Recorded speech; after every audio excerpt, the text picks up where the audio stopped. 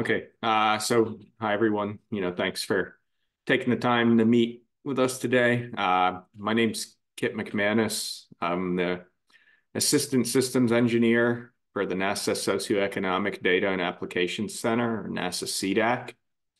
Uh, I'm also the the PI on this project, which is the, the Science Core Heuristics for Open Source Outcomes and Learning, or the, the school project.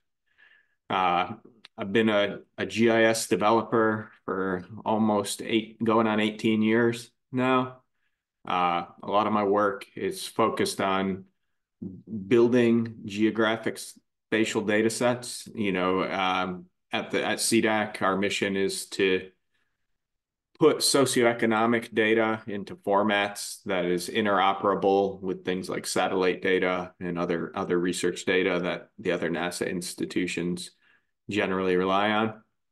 Uh, so I've done a lot of data set production. I've done a lot of tool production as well. Uh, you know, my background is actually in environmental science and policy.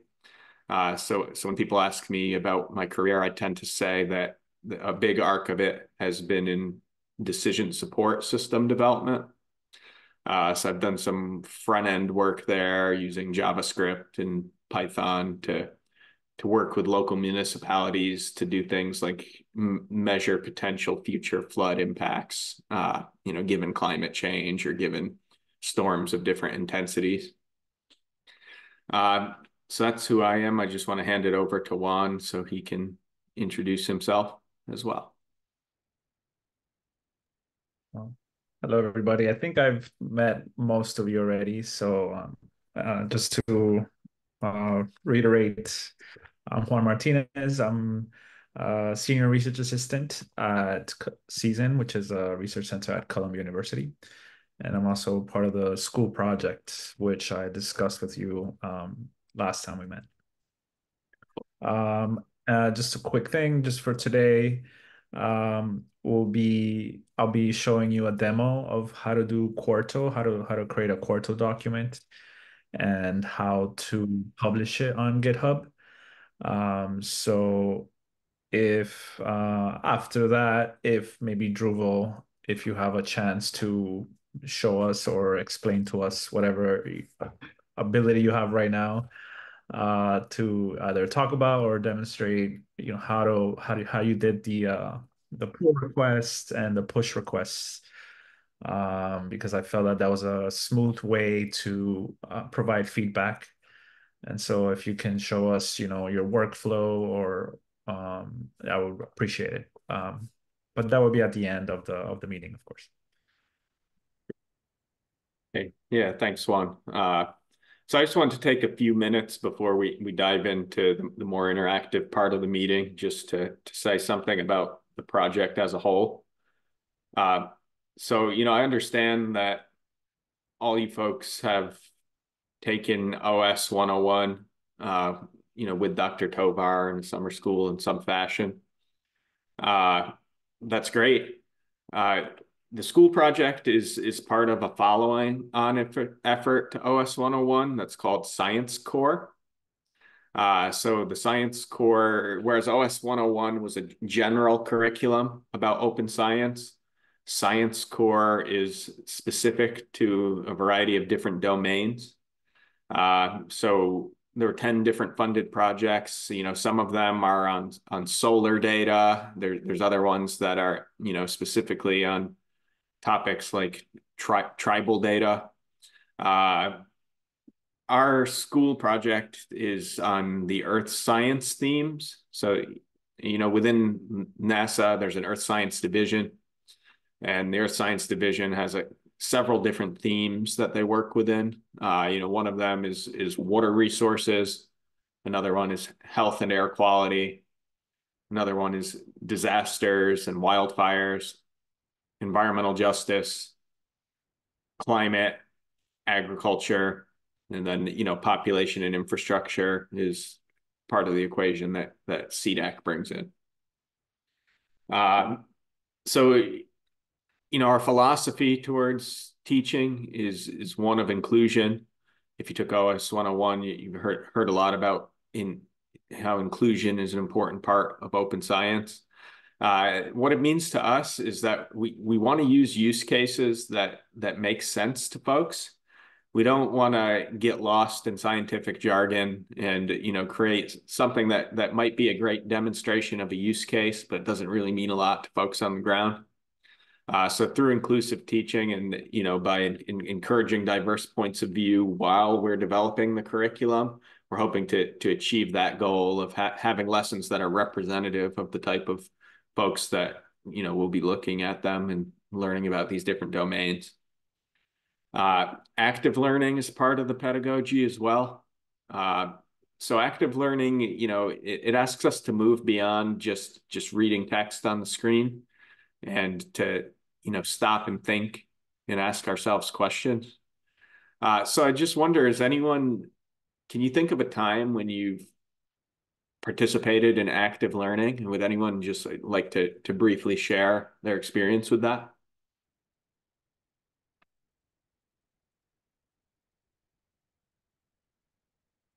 The next phase is calling on people. yeah, so I, I have one one story of mine. So when I started of uh, like um getting into programming, so that was something that I really struggled with because I didn't have any programming background. So the the guy who taught me like how to get into programming was like not by you know just like step by step as in oh you do this you do that but he was like oh just see a real world example you know there are people there are different types of people so like you know there's one structure there's like man there's women now it's like the same form but like you know it manifests in different styles so like you know he was basically breaking down the concepts of like the object oriented programming, so the polymorphism, abstraction, and all those things in like in, in a real world scenario. So it was not just like programming, but like uh like you know how you see the world. So that was like that that kind of expanded the view, like how you're supposed to think and like how the programming challenges or like the coding problems like can be solved just using understanding of like you know the surrounding which is out there. That was one experience that I learned. Yeah, thank you for sharing that. Uh, that that's exactly right. You know, it, part part of it in in an active learning environment is that you you you want to meet people where they are. So, you know, in geographic theory, we have this idea of of space and place, right? So, it space is purely a quantitative thing. You know, it's an abstract thing that you can you can measure. Uh, you can add it up, but it, it, it really it's in the realm of quantitative reasoning. Whereas that, the, the idea of place is more of a qualitative idea. So, you know, for instance, the if if you think of the the country of Poland, uh, you know, over the years, the border of Poland has shifted many different times.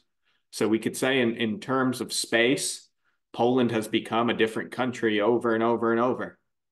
However, if you talk to someone who who's lived there and you say, "What what is Poland?" they're going to talk about their cultural heritage. They're going to talk about you know uh, the the weather, maybe like all of these these idiosyncratic things about what the place of Poland actually is. So so when it comes to teaching someone and learning, if you can meet them at at the qualitative aspects of place, you know, where they already have an established understanding, then you're able to, to, to push the push the ball further and to learn in new directions you know with everyone coming from the same same place. Uh, so those are kind of like the aspirations that we have for the project. Uh, you know in, pro, in our proposal you know how, how do we, how do we want to do this uh, we do it through through teaching people about a little bit about coding it's not it's not our emphasis we're using code and we're getting people to work with it uh, but our emphasis really is on the data science lifecycle, which is like you, as we see here, you know, in step one of the data science life cycle, you generate or you collect some data. Step two, you're going to figure out how do you process it and storage it. Then uh, you're going to do some analysis on it, visualize and interpret the results. You know, oftentimes in in in practice, you get to step four and it pushes you back into step one because it kind of it reveals some new question or you maybe need to modify your analysis a little bit uh, but it, at the end of the day, this iterative process, it, it, it eventually leads to a point where we can practice community engagement and open science or support decision making, which, as I mentioned, has been been the crux of my career. Uh, so we look at these different NASA data streams across all of those different themes. Uh, then I, I think many of you have, have seen this already, so I won't spend too much time on it. But in in practice where the rubber meets the road we implement it through the production of you know either python or r based jupyter books and jupyter notebooks and quarto notebooks. Uh, and uh, we're walking people through for these different data streams that that whole life cycle. I think in practice that the project morphed a little bit from how it was proposed. You know it it was proposed as i mentioned before to be these five 30 minute lessons but what we came to realize, and you know, hearing from from other subject matter experts and open science team members, uh, was that really every time you pick up a new data stream, it's useful to demonstrate that whole life cycle. And then in teaching repetition or in any type of training, repetition is leads to mastery. So we've taken the approach that for each data stream, we kind of repeat the whole data science lifecycle. So even within one module, each lesson is going to show multiple instances of that data science lifecycle. Uh, this is just an example from the water module. We, you know, again, our intention is not to teach people about the theme. It's about to get them interested in how they can apply data from NASA to a theme to answer some question. But that being said, we do provide some just background knowledge about the thematic content. Uh, I'm not going to go through all of this, but you know, ultimately, you start pulling in some packages, accessing some data, produce some maps, or you know, by the by the end of this lesson, we've analyzed. You know, for California, we're looking month by month of what percentage of the total population is under different intensities of drought. So we see, you know, in this year, 2014, almost the whole state was in a drought in January, but by April, it was far fewer people that were in a very intense drought. Uh, so, so that's kind of the, the, the big picture of the project. Then to, to, to get more specific, you know, just a couple of weeks ago, we we had an, an internal meeting with our development team to try to figure out you know where are we going with the remainder of this work. Uh, at, at, this point we we have a water module and then we're we're you know maybe 50% into a health and air quality module. But by the end of the project we're also going to add climate agriculture disasters and wildfires. And throughout all of these we're going to do pop in infrastructure and environmental justice use cases. So it, you know, we created this matrix of different data sets. And then uh, over here on the right side of the image, we we looked at, you know, what what are our our considerations and you know what what things do we want to make sure we cover across the, the whole of the project. You know, we want people to be able to work with either spatial or tabular data. So we'll have use cases that use both.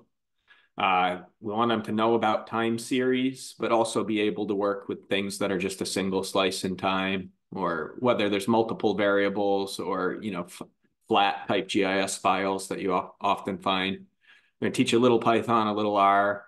We're going to teach some things that are cloud native and some things that are local. Like the idea that in, in the future of computing, there'll be, you know, edge computing and cloud computing will be working together. Uh, and that in, in some cases we'll be providing code, whereas in other places we'll be providing applications, kind of to lower the barrier for for people who who you know have never seen code before. Let's go meet them where they are, talk about some data, and then introduce some code. Um, so here I'm not going to go through all of these data sets, but we we just went through an exercise of is the data set a local, a regional, or global? Is in the past, is the present, or is there future projections? Uh, so in, in geography, we have the concept of scale, and you know mo most of our team we have geography backgrounds in one way or another. So, so we're embedding at, at a high level this idea of different scales, either in time or in space. And we, we want to, at the end of the day, have examples of each quadrant in here. Um, overarching everything is this idea of fitness for use. So, you know what what we I've been an applied scientist for for a long time, and one of the things that uh, you know can dry, be maddening at times is that people will will pick up a data set that you know maybe was marketed well, but it, it it's not necessarily the one that they should use for the question they're trying to answer. Uh, so we're trying to get people to understand, first of all, that they need to pick the right data for to answer certain questions. It needs to be a research question driven thing. Uh, and then it would give them some pointers about what data is fit for what kinds of uses. Um, I mentioned the data science life cycle. Uh, there's this idea that, as I was just saying, things should be driven by a question. Uh, to the extent that we can personalize, again, meeting people where they are, we want to do that. And then uh, throughout it all, although we're not directly teaching the general open science like OS 101 does, we're trying to uh, walk the walk and use open science in what we're teaching. Uh, so please, uh, you know, if if if a question comes up at any time, feel, feel free to stop me. Uh, and I, I know Juan, Juan is sweating that I'm taking too long. I'm I'm not very good at lightning talks. Like I, I can talk for three or four hours easily, but five five or ten minutes is hard. uh so you know another thing that we did in this internal meeting that I wanted to make you guys all aware of for what our we have this tentative roadmap of where the project is headed, uh, which you know you have to be adaptable. So the, the roadmap it, it can it can change over time as new things come up. But we have a basic idea for the next year of, of what we're going to focus who's going to work on what what programming languages are we going to use? You know is there a data set that can help support that? And I, again I, I don't want to go through all of this but I, I, I will share these images in the chat once once Juan starts talking in case you want to look more carefully at them. Uh, but you know, our our approach is that the project is going to produce nine core lessons in the next year, and then we want to, uh, you know, put in place a protocol for people to be able to make community-driven contributions, and and I think that's where you guys have the opportunity to to really help us a lot. And you know to how how can we implement a proper framework so that that the community can continue to uh, grow this project so that that you know teachers may be able to pick pieces of lessons and incorporating them into their classes? Uh, in in a lot of these projects you know including ones that produce decision support applications uh, there there's a challenge in the funding life cycle that you know these projects they're two years three years five years it, it, eventually the the funding runs out. And when the funding runs out if there's not a strong community if you've not developed a strong community the project may fade away after you know it'll probably be online for a couple years but it, it it may fade away. And you know certainly that that's not the intention of open science, right? Like, you know, the reason why we're doing something out in the open is so we you know, there's the saying, standing on the shoulders of giants. You know, we, we want to put this this piece of clay out there and then people can branch it and mold it and make it better and use it in ways that we didn't expect. Uh, so, you know, you, you guys are a quorum that are, are doing that for us in real time. So, you know, I'm very, very, very appreciative of that. Uh, also, we're thinking about how can we enable other people to continue to do this, you know, even beyond the end of the project. Uh, so that's that's the big picture, twenty thousand foot point of view. Uh, is there any questions? Or, you know, I still do it even though I know it's it doesn't always work. If you say here's a specific question for a specific person, they always answer. if you say, "Are there any questions?" People are like, oh, I, I don't know. Uh, but feel free to put them in the chat as well. I think that in our in our remote world, uh, that's a way to be more accessible for people who, who maybe feel shy to speak up. Dr. Tovar, do you have a question? I, I, I actually have a um a lot of comments, but I'll I'll uh, I'll wait. But one of the uh, the uh, things that we're trying to do, and we we spoke uh, to this uh, last week, uh, Juan and Kit, and also I met with you know a subgroup of this team here to to to get the strategic approach of how we're going to do this, right? And by the way, we didn't know this what you're showing us on these images, right? Which is very helpful. Uh, and obviously, I have a lot of questions on that, but we can delay that a little later. Uh, but the idea is this: is how do we provide um, uh, a framework, right? The framework that's going to allow us to to be very agile, right?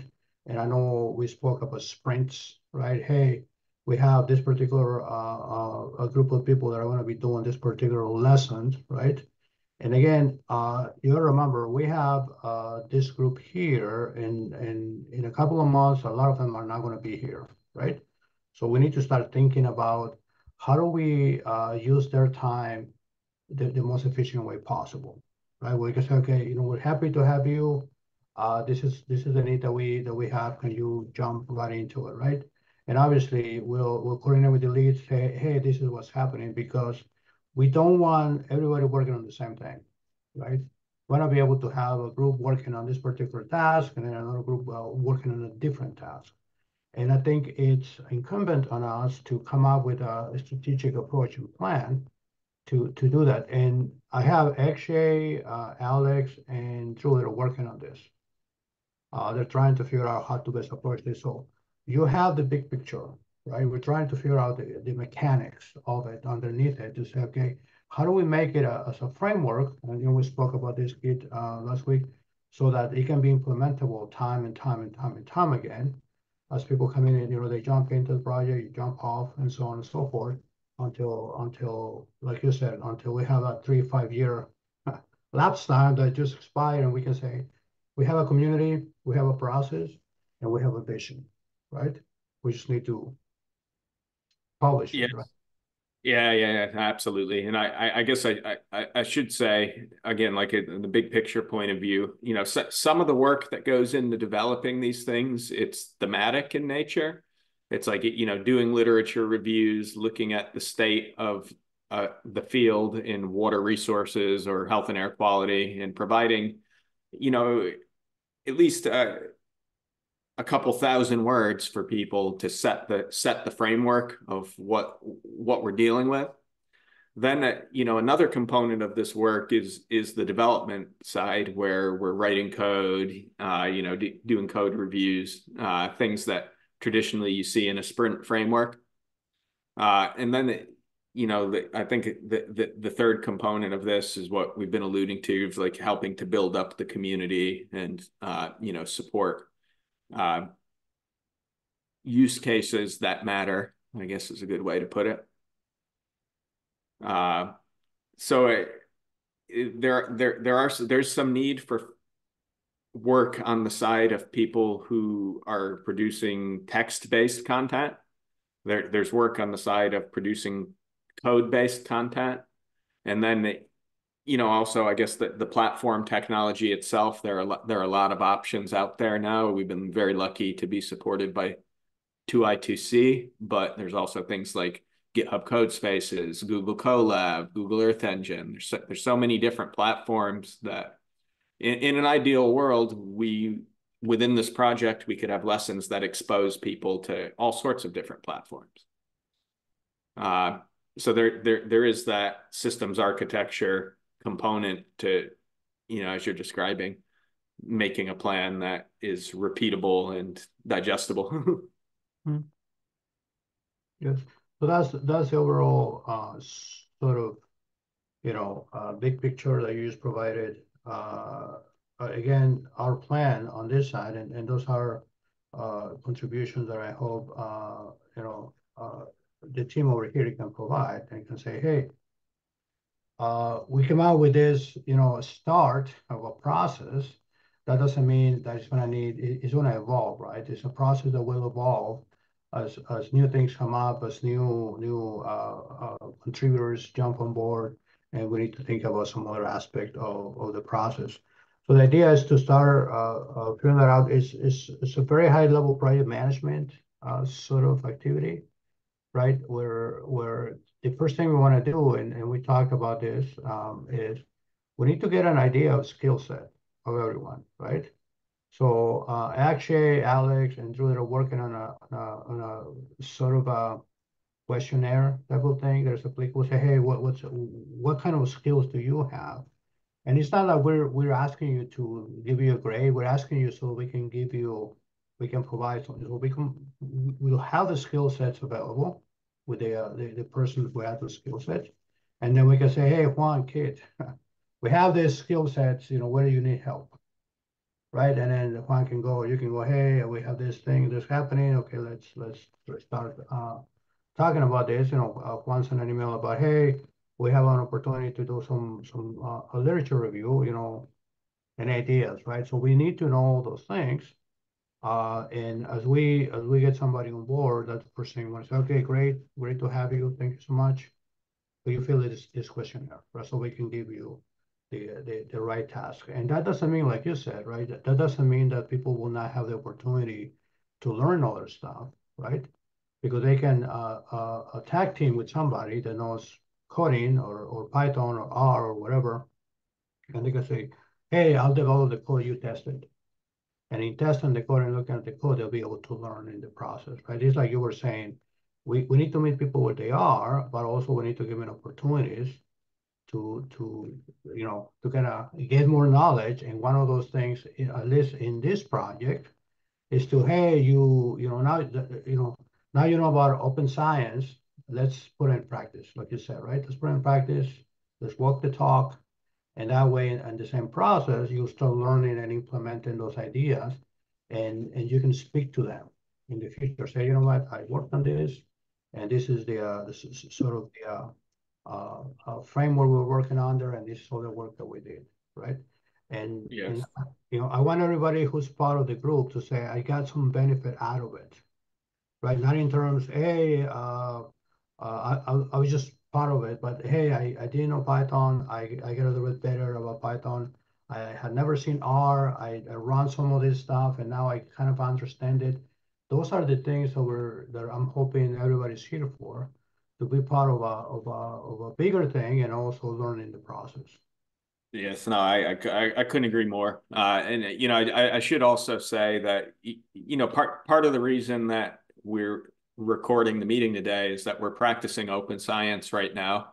And, you know, with everyone's permission at the end of the meeting, we'll create a Zenodo entry for this. We'll list everyone here as authors. And then all of a sudden you have something on your resume that you've been an author on this NASA project.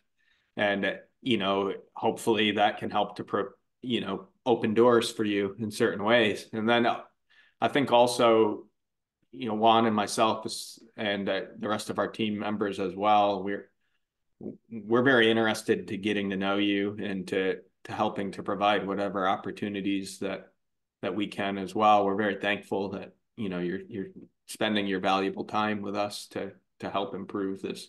What hopefully will be will really be a public good. I, I uh, think, so, yeah, I, I think it will be. I think it, it already is, Kate. Think about it. Yeah, yeah, yeah. Uh, so I know, I know Juan told me not to take too much time, and now, now I've taken the half hour. But uh, Juan, let me hand it over to you, and I'm sorry if I squished in the time too much.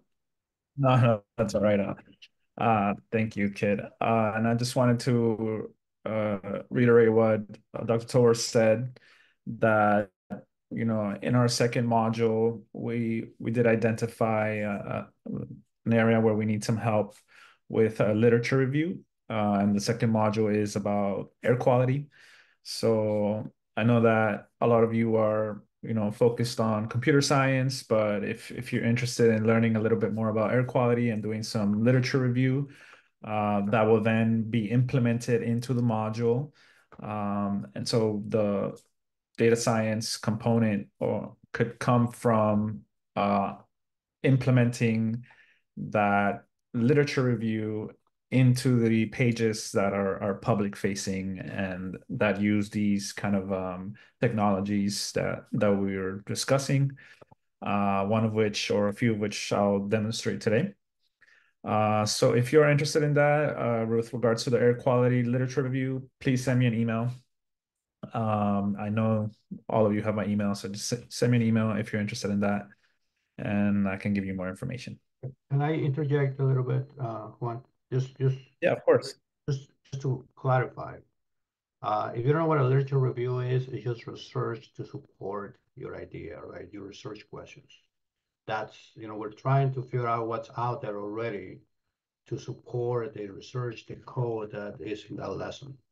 And you guys have done this already, by the way. Uh, uh, all of you have done this. So it's just don't research to support, you know, that what you're saying it's happening, right? That's called a literature review. Just research. Just wanted to clarify that.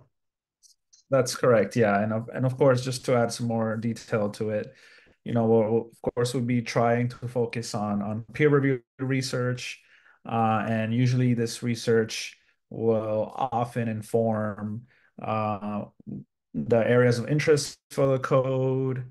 Uh, you know, what what is the what is the research question that we're trying to answer with the data. So uh, we'll provide some some already background on the data sets that, that we have prepared for, for this lesson. Uh, so it will be a lot of more, as Dr. Tovar mentioned, uh, supporting research to then kind of weave a narrative and a, and a purpose uh, for the code and, and for the lesson. Um, so those two components, the, the narrative aspect, the research, the lit review aspect, and the code are, are kind of two key uh, parts of the lesson that guide each other. Um, so.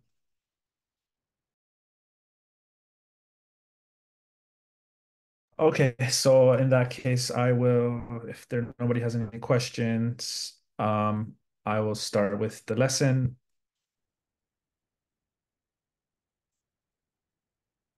Just gonna share my screen.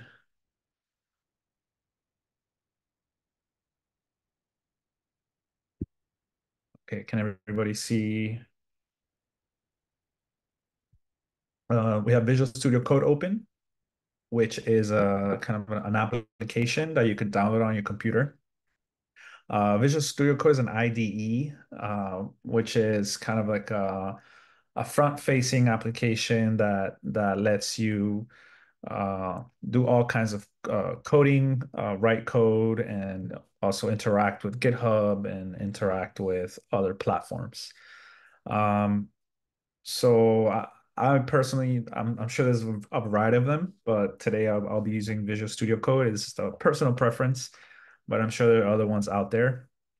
Uh, I like Visual Studio Code because it uh, it easily connects with GitHub and you can install extensions that connect with you know uh, GitHub AI or connect uh, can write and read Python and Quarto and um, R.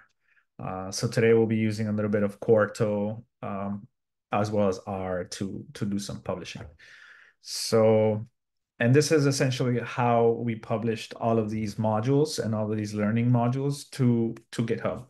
And these are all the pages that I've shared with you. Um, and so I'll show you today how, how you can put those online and how you can share these links with, with your community, whatever, whatever it is that you're, you're writing about or publishing about. So in the back here, we have you know, if if we have a, a repo or this is like a GitHub account, um, I don't, I'm sure you're familiar, but I think it's it's free if you you can join. Uh, you can make create your own personal account. Um, but this is the this is our CIESIN account, which is for for the research center that we work at from out of Columbia. And so the first thing I want to do or is, you know, you create a, your own template. Uh, so, you know, just let's call it demo one, because I already I was testing this a little earlier. Uh, so just be like a you know, demo of Quarto. Uh, we'll make it public. Uh, add a README just so people know what it is. And then uh, this is a general public license. I think it's kind of like a Creative Commons kind of license. So, you know, Creative Commons means you're open to to use it. Uh, just provide uh, a reference or or provide credit. I believe. I'm sure there's more to it than than that, and you can Google Creative Commons license, and and it'll give you more information about what kind of uh, open science or open licenses there are. All right, so now we have our um, repo created and the repo gives you a URL. So we'll copy that one and then we'll come back here into Visual Studio Code. Uh, Visual Studio Code gives you this uh, clone ability to clone repositories. So that's what we'll get started with. Uh, and it provides, it asks you for a URL, which is the one that I just copied. So we'll just put this one here. Then it'll ask you, where do you want to put this? Uh, because uh, it's going to clone it. So I created already a little, oh, where did I put that? Sorry. Um, here we go. So I'll put it in my demo folder. And we'll open it. And now you see that uh, in our folder, we have a license and a README that were cloned out of out of the GitHub repo. Uh, let's see if we right click here, uh, we can review in the file explorer and you can see that demo one was copied into the folder that I chose and it brought in these two um, files, which if we go back here are the same files that we have here. So now that I'm connected, um, usually once you start uh, Visual Studio Code, you go to the extensions and you install, you know, GitHub. You can sign into GitHub with your accounts. Um, they also have other extensions for Python and R. Uh, so oftentimes, you know, you'll want to set some environments. Um, but I think once you install R, because we're we're using Quarto, uh, it should be fine as long as you install this extension. and you know, since it's a live demo, we'll, we'll see what happens. Uh, so we'll go here and we'll create a new um, file. And this one we call demo one. And since we're talking about Quarto files, Quartos have an extension called QMD. You can see here that the icon already changed to this to this kind of circle with a cross. And that's the Quarto um, logo. And Quarto is is pretty much like an updated version of R Markdown. Um, so it has some capabilities that are that are pretty pretty interesting, especially if you're publishing um, you know content on on GitHub pages, which is what we'll do. Um, because it, it allows you a lot of um, ability to customize your page and, and customize how your page looks. Um, so this is kind of the um, the the place where we'll write our code is is the Quarto Markdown code uh, file, and out of this file, uh, once you have Quarto installed on your computer, uh, it should generate an HTML page in a in another in a separate uh, folder, uh, and then once we upload all of this into GitHub, we'll set up GitHub so that it points to that rendered HTML page. And I'll and I'll show you a little bit of as we go along. um, but the first thing you want to do when you have a Quarto page is um, kind of tell it that it's a Quarto page. And the way that it knows is by these three kind of dashes. These are dashes. Uh, and here you can just enter some general information about your page, uh, like title, and then you can enter, you know, demo, um, demo one page, let's say. Excuse me, give me one second.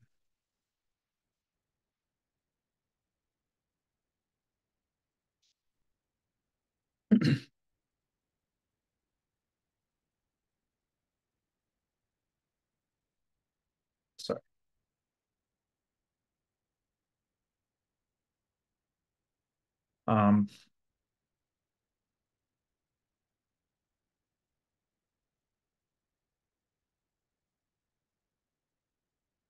okay, so yeah, uh, sorry about that. So now this kind of document knows, okay, I'm I'm a Quarto document, uh, and you can give it some more attributes here within these dashes. So say author, and author, we can say, you know, I don't know, you students. Um, we can also provide other other attributes. You, you can look up which attributes. Uh, they're all listed online. Uh, but you can give it a date. You can call like the, what type of page it is. If it's a, um, you know, uh, a PDF page or an HTML page. So you get to set some settings here um, that are very useful for what kind of page you you want to render and what kind of page you want to you want to show. Um, sorry, give me one more second. Just trying to get my notes. Okay, so, um, you know, one of the first things you want to do is start using titles. So this is very much similar to R. If you're if you're familiar with R, uh, it uses hashtags. So you know, this is we can say this is a large title, and then if you have two hashtags, it'll be kind of like a, a subtitle, and so on. Uh, three dashes, um, then you can also just type in regular text. Uh, and you can also do lists, you can do um, tables.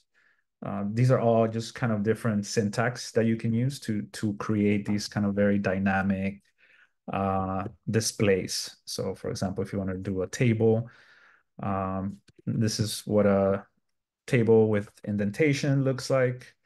Uh, this you can also do different types of kind of check marks uh, if you you know want to display check marks.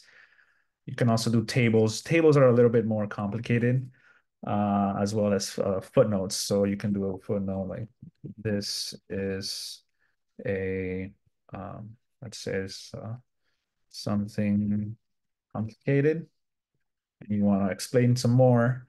So we can add footnotes here. And let's say this is, this is our first footnote. We'll call it like this, footnote number one. And then of course, for Quarto, you have to define what the footnote means. So we'll give it the same name. And this will be our footnote.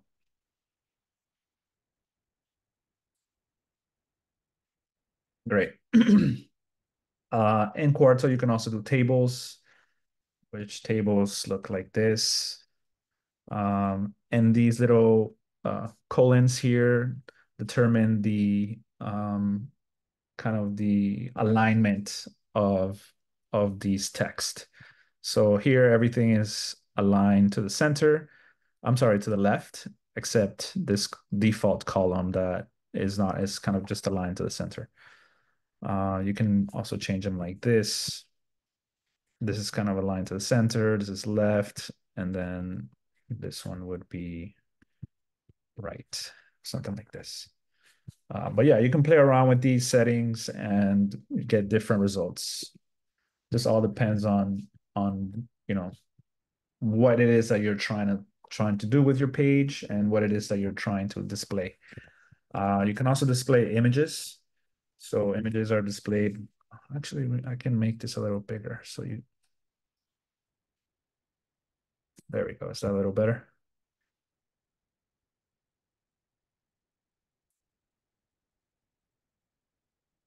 Okay, sorry. So you can display images like this um, and give it kind of like a text. So it'll be like a um, small image. And then we can call here you can even call it from a URL if you want to get it from from like a, a web page. Uh, so for example, if we have this page here, this is a Peregrine Falcon. It's uh, Illinois. It's an uh, Chicago's uh, bird, national, well, not not national, but official bird. Uh, and usually these images will have image addresses uh, that you can copy. So for example, if we copy this here, we can highlight these terms here. This is kind of the JPEG, the, the image file that is living um, on the web that is then getting rendered onto this um, National Digital Library of Animals. So then we can go back here and pretty much paste that here and display it in our in our page. And then if, if we don't want to get it too big, because I saw that image was big, you can control the width of it. Uh, so 25%. So that'll render. Uh, just a quick comment. Because, you know, I'm thinking on, on this side, hey, what if I want to create my own image, right? Right, and, and so, so. Yeah, sure. Yeah, so just remember, you can create a, a repository on GitHub and then.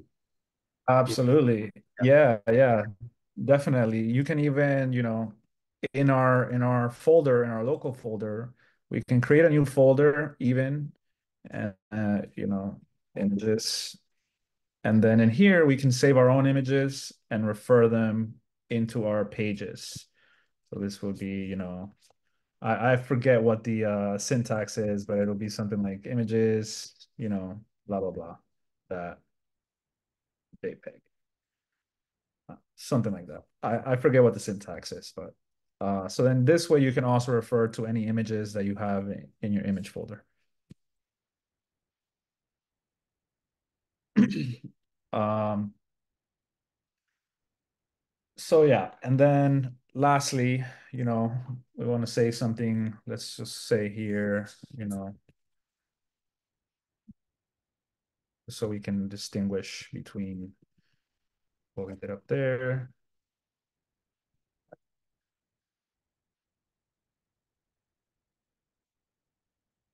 Um, and then we can say something like, uh, I already pre-wrote this.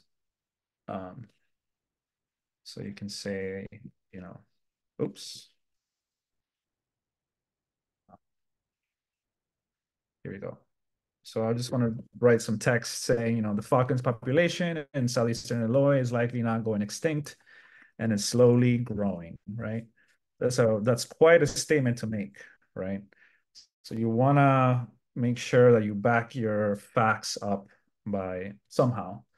Uh, so what's cool about Quarto is that it, it and especially uh, uh, at least Visual Studio Code, is that it has this kind of visual mode. Uh, and in visual mode, it allows you to, oh, look, here's our page that, you know, it allows you to see it already rendered and it actually allows you to uh, edit it as well. It has, you know, the same tools, but um, you know what I showed you is is how you can render this um, pretty uh, in, in, the code, you know, in a code instead of these these tools up here. Um, you can see here that we have our footnote, uh, and then when you click it, you it'll pop this up. Uh, we have the image here. So what I want to show you is that in these in this um, kind of visual mode, you can insert things and this makes it much easier. Uh, oh, sorry, my my VPN is about to kick me out. I just have to type in these security first, right? So,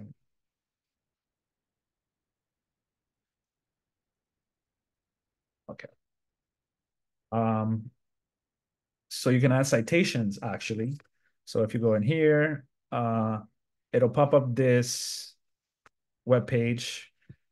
Uh, if you have your own bio bibliography already created, it'll show items here, but we do not, obviously. So we're going to use these other three or four tools here. This one allows you to use DOI. Uh, I think these other are more like um, all of the data repositories, and I think Crossref will let you use kind of uh, web web pages to try to pull uh, references. But you know, I I dug around a little bit. Uh, Columbia has a great um, kind of web website to to search for. Oh no, it's not letting me. Sorry, it's uh the full screen is there. We go. Uh, so I found this, uh, and it says, you know, something about the Falcons here. Um, you know, somewhere I, somewhere in here I, I saw that they're not going extinct and that their population may grow. So I said, great, this is, you know, um, peer-reviewed information. Uh, what I'm interested in is this DOI number. So with this DOI, if we copy it and we bring it back here from DOI, it's in here, and it gives me the page, the, the research, all the information that I need. Uh, you can see that it's added here in the bottom. So we're just going to insert that.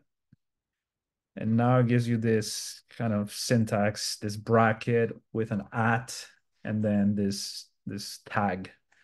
Uh, it's kind of a, a reference tag. Um, once this Quarto document, as I mentioned, gets rendered into an HTML page, uh, it'll stylize this for us a little better.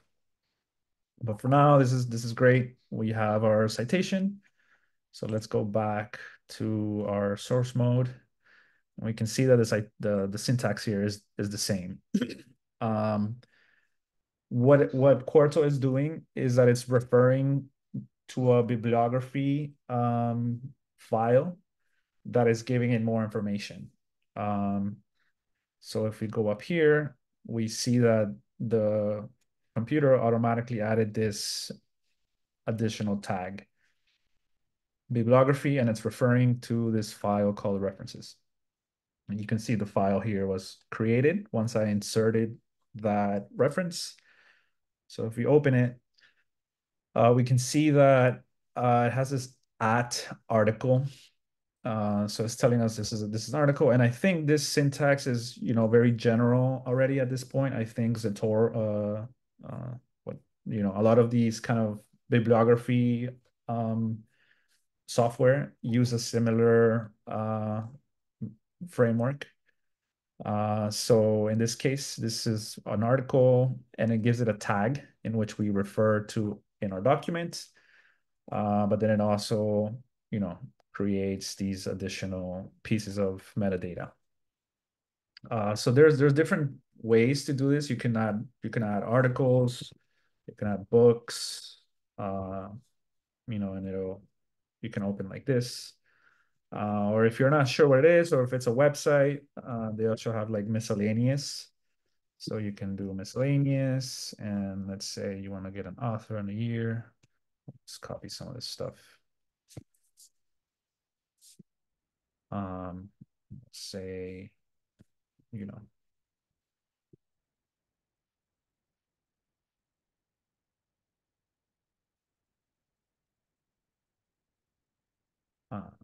and then we can just write.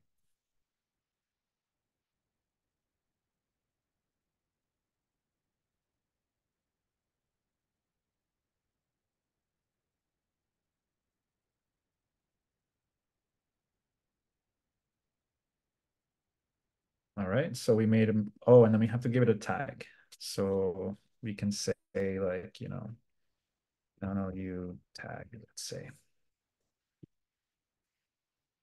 we save our references, bibliography, and when we go back here, uh, we can refer it back to again.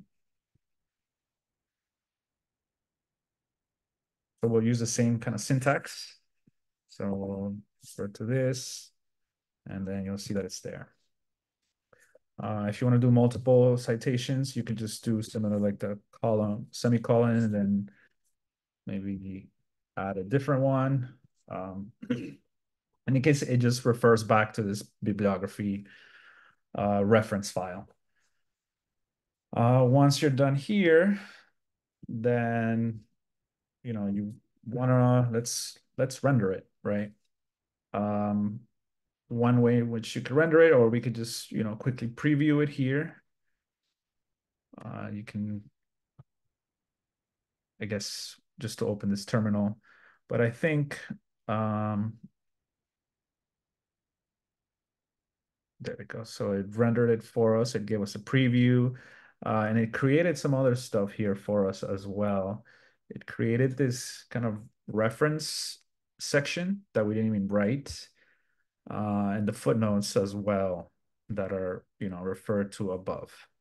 You can see that it changed these to um, um, their respective authors and it stylized it for us in the proper way.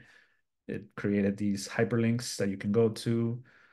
Um, and then everything else um, is stylized. You can also stylize this with um, another document that usually accompanies um, this Quarto document.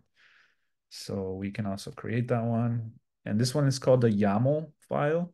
Uh, and usually in the YAML file, you can, it's like you're stylizing these, these documents. And uh, the YAML file is kind of like a, uh, a general file that tells all the other Quarto documents um, how to get styled. So, so you, instead of having to apply the styles in each, in each Quarto document that you're creating, uh, it applies it to all of them. So uh, it's very useful when you're doing multiple pages. And usually this is how you write it. It's underscore Quarto, and then you put that YML. You could see that it changes to this different exclamation point. And then again, you could just give it, uh, you can look online, what are the attributes available for, for this type of file, YAML file. Uh, but the usual ones are these. So, you know, our project has a, a type. So we're, we're trying to create a website uh, that looks like a document. Uh, and you can execute um, Python if you want, but for today we'll we'll just do R. So we we might just take this out if we need to. Uh, we give it a, title, a name, say you know I know you. Uh, and then there's different themes that you can specify as well. They're all listed online. I don't know them by the top of my head. Uh, so we could save this file as well. so we've already created three files. The Quarto file, the reference file, and then the YAML file, as they call it. Um, so I think now we're ready to um, render this, and hopefully this works because sometimes Visual Studio Code is a little, uh, a little. It sometimes it doesn't. It just gives out for some reason. Um, and I think it's because uh, sometimes Quarto to render these pages, it, it uses Python. So you have to run the render command in Python, even though we're rendering uh, our documents. So, um, so for example, oh, also, so this is how you would enter code. Uh, you can introduce code into these Quarto documents. Uh, you can use these uh, these are like quotation marks, but not not the ones on the in your in your keyboard. They're on the top left, right underneath the um, escape button. Uh, so if you do two of these, three of these, and then three of these, it kind of creates this this chunk here of of um, space.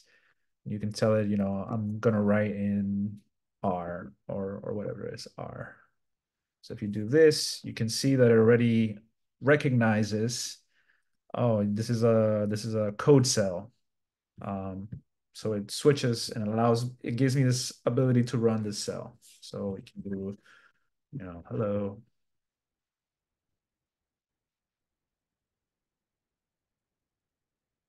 We run the cell, it's kind of loading. Let's see if we run it. There we go. So you can see that says down here, hello world. Um, so yeah, this is, uh, and then you can continue here. And you can insert a different one here. The, the command is uh, Control Shift I, in well, at least in Visual Studio Code is. Uh, it'll give you these options to um, enter different languages. Um, but in this case, and because my Python environment is is acting up, I'm just gonna stick to R. Um, and so yeah, you can then now start to create your variables if you need to.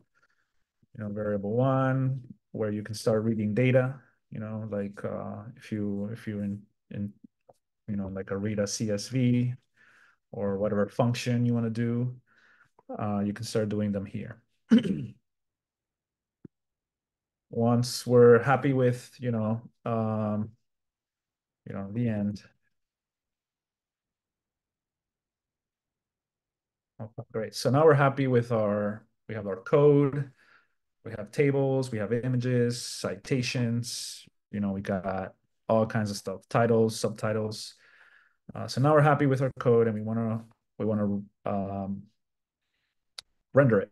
Um, so usually you do this on, I think you do this on Python. I'm not sure if you can do it directly in R. I'm sure you can. Um, or maybe you can do it in R. Let's see. I know that the hmm, I think it's in R is like like this. Quarto quarto render. And it's usually the same command in um, Python and R. So then we're gonna want to go here because we want to render this quarto document. We're just gonna copy the relative path. The relative path means relative to this project. So if we see what it it is giving us, I guess it doesn't want to paste it. No, it does not. So we'll see what it looks like here. So it just looks like that. So demo on the UMD. We'll just uh, save here, save here, save here, just to make sure. Um, let's see if, nope, that did not work. So what we can do is we can use Python. Um, so we can open an environment. Uh, I think it's this one. Any of these environments will will open kind of a Python base, which is kind of just opening one of these um, Python environments. Uh, you can see that um, it's activating a base, and then you can now also in in this IDE, uh, you can set uh, a Python interpreter. So you're you're telling this um, application, which is Visual Studio Code, hey, I, I want you to refer to this environment when you're when you're running this code. Uh, but first, I want to know which which environment I want to go to. So if you have Conda installed, that's that's sort of another lesson. Uh, you can go here and write in. Uh, this is the the Python command prompt. Uh, you can find out what you know what environment you have, and I've already done this. So I have ArcGIS Pro. I, I usually like to use this one just because you know it's um, has Python and all those other packages installed. Um, so you can use this one if you want, or you can use other ones that you can create one or clone one. Um, so what we want to do here, um, let's, you know, conda activate, and I think this is how you do it. Python.exe. No. Must be without the exe. No, that's okay. Uh, we'll try the basic. Give the name of the environment and just activate. I'm sorry, say that again. Um, you give like conda, name of the environment, activate. So you must have created the environment, right? So like the base environment or the the indoor environment. So like you have to give the name of the environment and then you have to run activate. It will activate that particular environment. So I have to type in conda first and then enter. Oh, you're you're already in there. Like I, I see this. Like you have already activated base, right? So you're already there. You can get Oh, started. oh, oh, oh, okay. It's already it's already started. Yeah. Yeah. Yeah. Uh, yeah, yeah. I was just trying to see if I could if I could use a different environment, but uh, let's see if this just works, I guess. Um,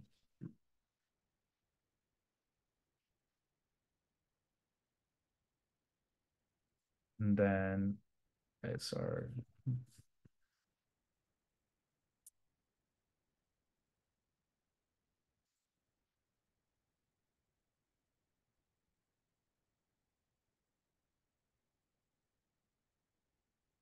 Okay, great. So thank you, Akshay. Uh, so let's just see what um, what our messages are here. Um, so again, we uh, called on Quarto, and this is in Python. Correct me if I'm wrong. Uh, we uh, call on Quarto to render this document. And so we were rendering demo one. Um, I guess these are just some processing um, statements. Um, I guess it's just telling you what it's using, um, what kind of packages it's using, and some of the settings that are probably default, um, but that are are just set here. Um, and as well as some of the metadata that we introduced in our YAML um, document. So you see that it says created docs demo one.html. So if we go back to our pages here, uh, it created a new folder.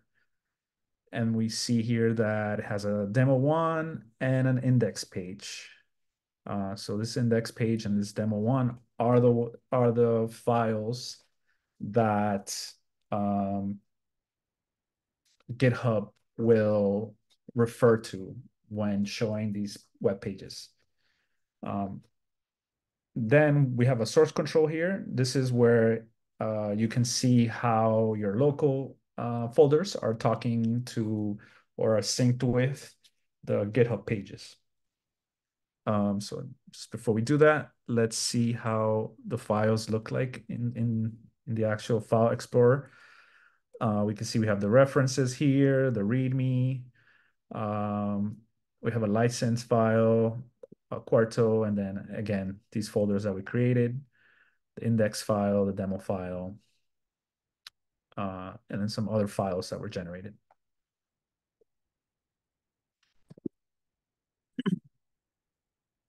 then if you if you want to you know in visual studio code you can also save uh, this as a workspace just so you can come back to your settings and and come back to uh, where you left off uh, so you can save as a workspace here um, i'm to save it in my demo just called like this is the syntax the the extension for it is dot code workspace i'm just going to save it as demo one workspace save it there um, but I don't want this. This is just for my computer.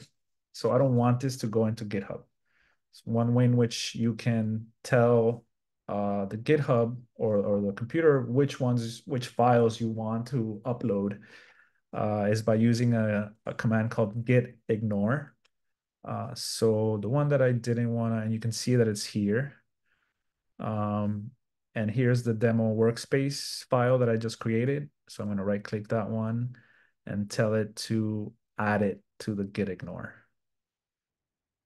Once I add it to the git ignore, you'll see that it disappears from here and in the git ignore file, it's, it's added here. So it still lives, it still exists in my computer, but it's not going to upload it to GitHub if it's listed here. And you can do that with any file uh, that is that is listed here.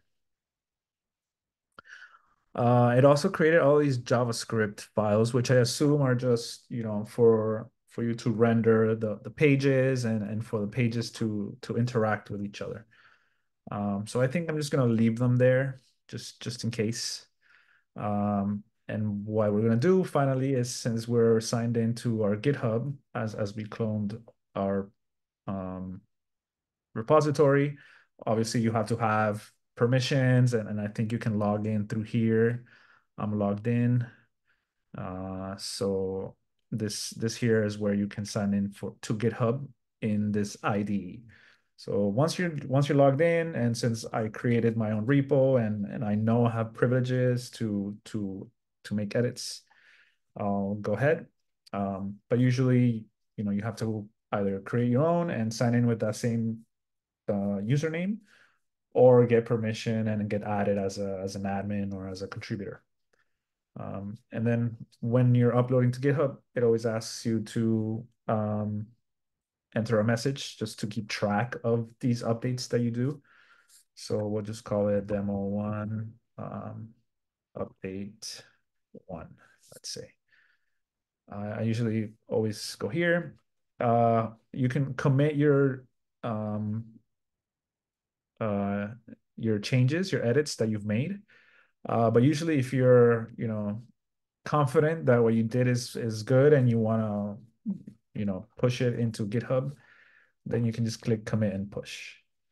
Um, maybe Drupal has more information on what the differences are and what commit is versus push versus sync. I'm, I'm not too familiar with that. Um, but what I do know is that commit and push will uh, push all of these changes into GitHub. So we'll wait a little bit and you'll see that now we're everything's gone. It's in GitHub. It's synced. So anytime you open this again, you always want to just uh, you know sync with your GitHub or refresh. I think it's here, and when you click here in the sync button, you know just remember to sync so then that your the files that you have on um, online match the ones that you have uh, in your computer. Um, so all the files are still here, but now we can go back to GitHub and see what that looks like. So we can refresh this page here. Uh, we can see that our references, our demo, our Quarto file, everything that we created is here, including the docs file. um, these are our render pages here and all the JSON files that we talked about. Um, great. So now this is still only a repo. You haven't created any GitHub pages yet. You just have to change a few settings uh, for it to to become to render these pages. You know, right now it's just a traditional repo um, with no ability to render these pages yet. but we do have the files ready. So all you have to do is go to the settings in your um, repo, and then there's a pages. Here, let me just make this a little bigger. There we go. Uh, pages here in the left. Uh, so this all talks about GitHub pages and, and deploying these render documents.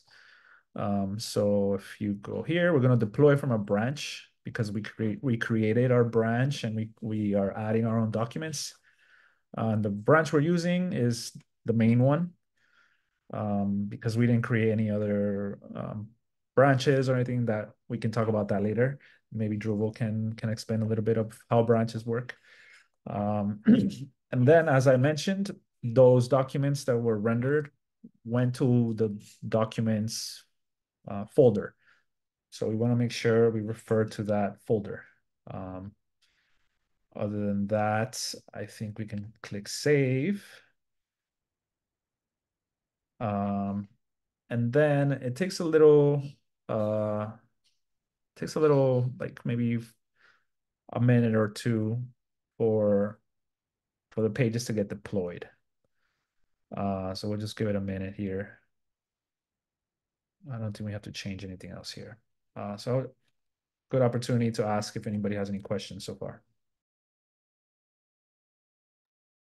I just I have a quick comment. Great stuff, Juan. Uh, I'm really enjoying this. Um, so is there like a, a, a Quarto file that has all the different tags? You, know, you were showing us some of them, like, hey, you want to do this, you do this. Is there like some example out there that says, hey guys, uh, just you know, open this up on on, on your Visual Studio, and it has every every tag or a site, right? Even a site that says, hey, this is all the, there, the tags you can use. Yes, absolutely. Um, here, let me show you. There's I'll paste it to and I'll and I'll share the screen with you. Um, there's Quarto has its own web page um, that is pretty useful. So, uh, and you know, it even get, gets you the steps and which IDE you want to use, uh, what kind of platform. So it it guides you into into first installing it. Um, but then it also gives you this kind of guide that I'll put it on a, and here on the left, you can see that, you know, they have uh, tutorials on on on which one you want to choose. So you know, if you go to VS Code, it'll tell you, oh, this is how you install it. It's it's quite comprehensive instructions in in how to install this um, Quarto um, software. I think there is an install you have to do, like you have to download something. Uh, but maybe Kit can uh, if he still remembers how he installed it. But I think it's a quick install, like anything else you can install. Uh, and then there's a another one tutorial which gives you more of the commands, uh, which is this guide. Um, if we go to authoring, you know, markdown basics. Uh, it tells you how to do italics, how to do bold, uh, if you need subscripts, you know, it just tells you all the kinds of commands that you have. So this is where I actually came right before our, our meeting and referred to this to to try to get some of the examples. And, and there's there's tons of them. Uh, especially when you start getting into the figures and the tables, like the you know the figures are also or or the graphs. You know, it's yeah, it's very robust and you can do a lot of things with it. But so I'm just showing you um, the workflow that we did to publish the pages and just an, an easy example on how to at least get something up online. Um, just just sorry. wanted to yeah, good stuff, right?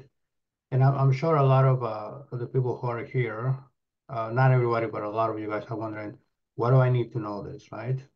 That's that's like that's a big question. And I know I know why, but I want to let Juan sort of say, hey, uh, we, you need to know this because. So I'll let you expand on that one, or you want me to do it, I can do it, but you know, I'll, I'll probably prefer that you do it. Um, I I I think I made a little uh, a clue here, but I mean, I can see many uses for for this. You know, uh, for example, if you want to do your own resume, and you want to put it online and, and want to have an ability to to you know instead of giving people uh, your your linkedin page you can have your own personal linkedin. Um, you know when we're talking about data science you know you can have a, a cv or or some of your examples kind of like um or or you know kind of like how a, a portfolio or of some sorts um, and then of course for this for this um, project, uh, this is how we essentially publish all of our uh, documents. And so if once you start contributing, uh, you'll have to go through this process to, you know, clone uh, the, these GitHub repositories and publish and render the pages. Uh, so uh, it's a bit of a workflow, but you know, it's it can be very useful for for many many things. I think. I don't know, if Dr. Tovar, you want to add some more stuff. Um, but while we were talking, uh, it created this link for us. So I want to get that link. And just to make it a little more official, we can even add it to um, our website here. So let's see what happens. I think I know what's going to happen, but oh, great. Uh, it's interesting because I don't even have to type in uh, the rest of this um, URL. I just created it. Last time it didn't happen, so I, I wanted to, to check. Uh, so yeah, you can see now how this this is kind of what we consider a, a, a published page. Uh, so you can see that it has all of the attributes that we uh, included. Um, something about the Falcon. We have our footnote here that when you hover. So it, it gives you a lot of capabilities to do a lot of different stuff. Um, you can do like side side uh, side notes, footnotes, images, um, these kind of citations as we as we did.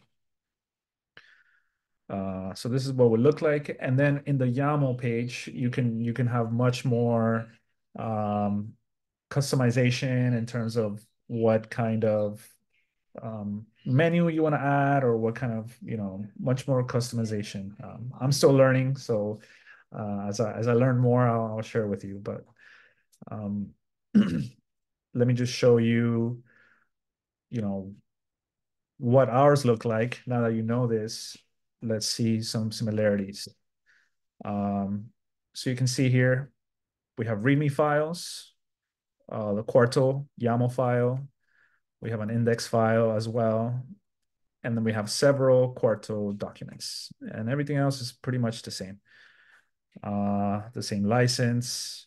Um, these are, you know, sub one hashtag, zero hashtags. Uh, you know, some of the same uh, components that I showed you uh, is exactly how we built this. Um, and if we go into the document file, we'll see that we have all of our HTML pages. So this is where they all live as well. Um, then I just wanted to show you the, the YAML file because this one is a little bit more complex. Obviously, I did not write this. Uh, you know, we had some of our partners for this project contribute to this. Uh, and you can see that, you know, you can in, include uh, styling CSS styling documents. So these are getting drawn directly from a different repo and applied to this repo. Um, there's other kind of stylings, like where do you want the, the content to go? What kind of uh, background? And, and you can, you know, you can get really complex here. This is a, this is a menu, a drop-down menu with lessons. And so all of this will eventually render into these pages. Uh, so you can see that the lessons here drop down. Um, this one is not rendering correctly. I want to show you actually one that, here we go. So when it's correctly rendered, it'll have a title like this, um, some some lessons here, and then it'll have these uh, components here that you that you set in the YAML file. Um, and these, you know, as I mentioned, they they get applied across the all of the uh, renders that you do. It's just that you know we have multiple people rendering different pages, uh, so different contributors, and so sometimes um, some some people's environments or uh, are not compatible, so we get some of those issues. Um, but if you're working in the same system and you're publishing on, on usually in the same system or usually it works, it's just that sometimes uh, especially our, our computers are kind of like closed in are have some issues. So um, uh, yeah, so let's just go back to um, our page here. Um, let me see the documents. Here we go. So we have some images here as well, as, as Professor Tovar mentioned, that you can use your own images and the images will be uploaded here. Uh, so if we just check one out, you can see that there's one on floods, and I'm sure these may look familiar to you. So these are where they're getting housed, and then we refer to them as as I showed you with the with the Falcon image. Um, yeah, so this is essentially how you um, publish. And then if you want to update again, you know, you it's a similar workflow, pretty much almost the same, where if you um, update something,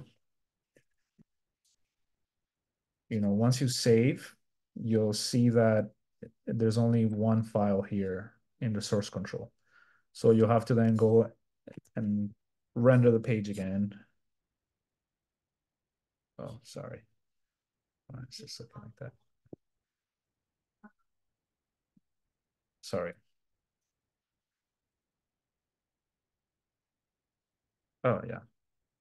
Uh, you have to render the page for it to then also bring in these other updates. Uh, which is the HTML page that we want. So then we can say, you know, um, demo one, update two, and then do the same thing, command push. once you do this, this is then updating, uh, and we can see the update going on live if we want. Um, we might have already passed it because it's probably pretty quick. But if we go into actions, you'll see here that uh, it's still working. So it's still deploying that second uh, push that I did. Uh, usually, once this turns green, it it uh, it's kind of like a sign that tells you that it's already published.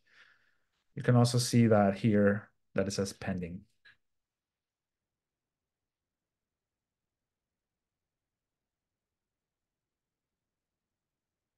Once you have the check, then you know that your changes carried on through. Uh, and then you can see the render. I don't know why. Maybe I, I'd saved before before I was supposed to, but um, yeah.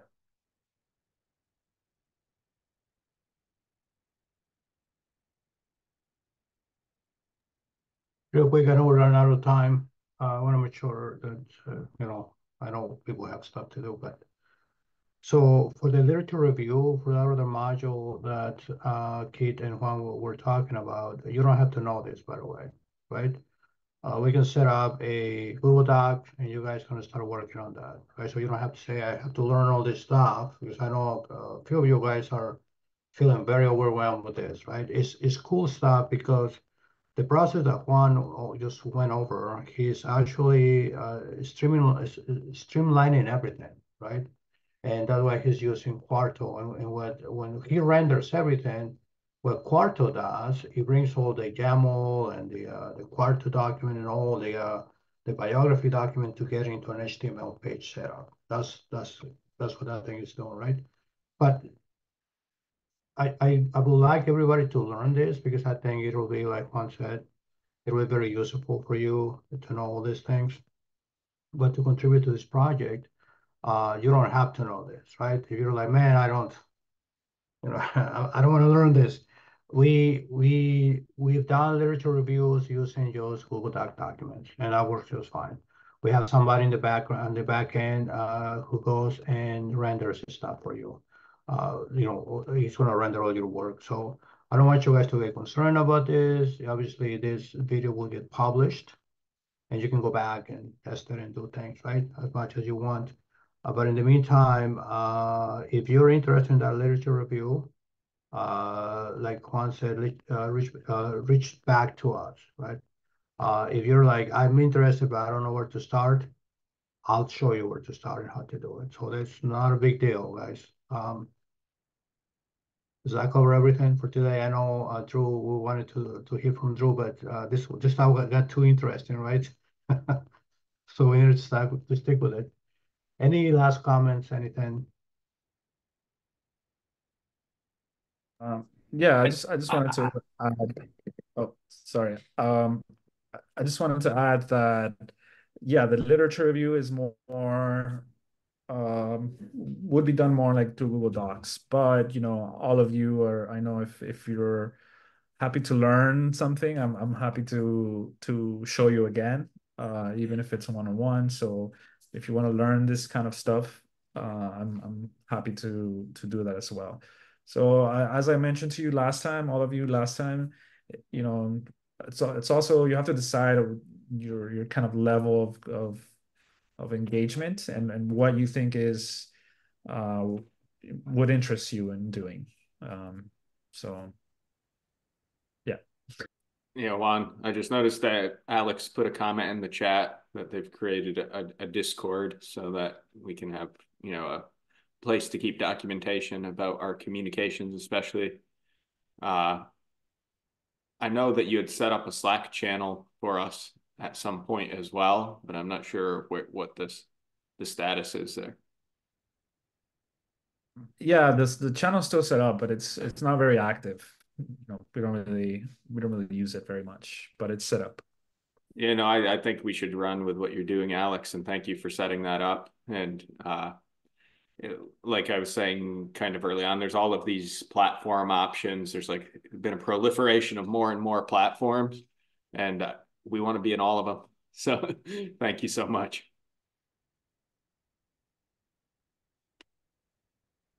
Uh, also, you know, I just want to thank everyone again.